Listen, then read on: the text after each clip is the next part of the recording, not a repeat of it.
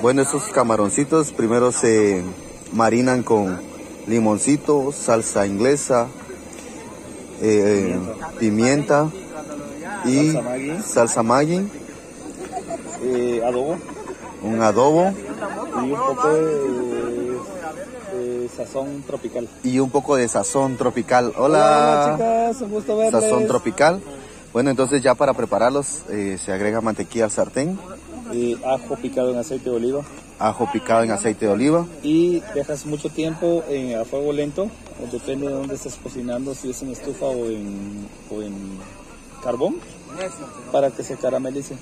Entonces cuando las, la clave está en que cuando las, las patitas de los camarones, son patitas, ¿verdad? sí, sí, Eh, cuando ya estén de un color oscuro y ya empieza a caramelarse el, el camarón, está listo para servir. Ah, es más, es más, es más, lleva un toque de red pepper, picante. chile, chile red A tu gusto sí es, ah, considero que es más delicioso que el, que el chile chipotle para cocinar estos camarones. Los Bueno. puedes servir y acompañarlos con lo que gustes.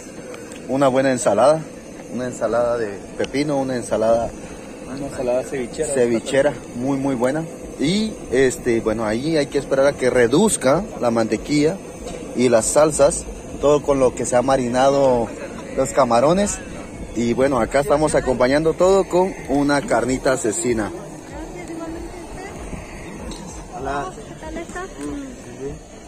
Bueno y los estamos disfrutando acá en Campo Alegre Huehuetenango.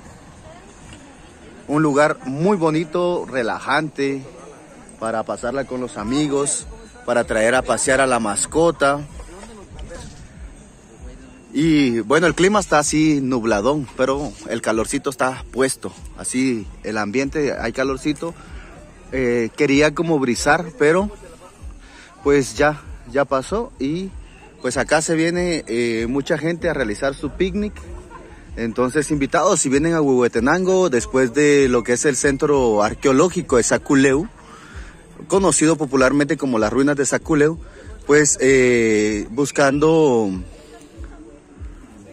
buscando lo que es eh, la comunidad de la Cruz, acá eh, pueden venir entonces a disfrutar, ya es muy sabroso.